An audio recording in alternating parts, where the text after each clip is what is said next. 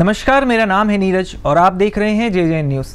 तपती गर्मी ने लोगों की तकलीफ़ों को काफ़ी बढ़ा दिया है। सबसे ज़्यादा दिक्कत तो उन मजदूर श्रेणी के लोगों को हो रही है, जिन्हें अपना पेट पालने के लिए इस तपती धूप में भी काम करना पड़ता है।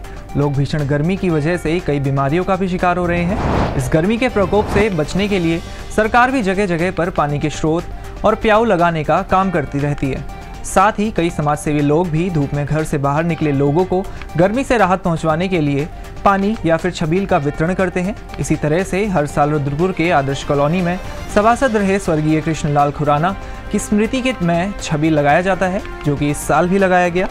इसके अलावा कई समाज सेवियों द्वारा मोहल्ले की गलियों और बाजारों में छबील लगाने का कार्यक्रम लगातार जारी है।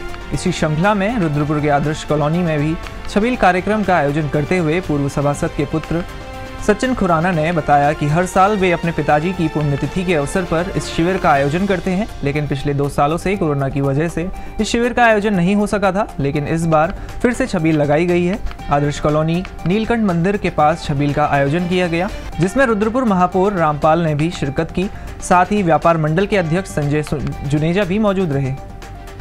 मेरे पिताजी की आज ग्यारहवीं बरसी है और हम लोग हर बरसी पर यहाँ पर इसका कार्यक्रम करते हैं। छबील बांटते हैं। पिछले दो साल से कोरोना की वजह से नहीं कर पाए थे। वनवासी कल्याण आश्रम और जगतपुरा में जो आश्रम है, हम लोग वहाँ कच्चे चावल वगैरह दे आए। क्योंकि यहाँ निकल नहीं सकते थे। इसीलिए आज तीसरा प्रोग्राम किया है हमने वैसा ही।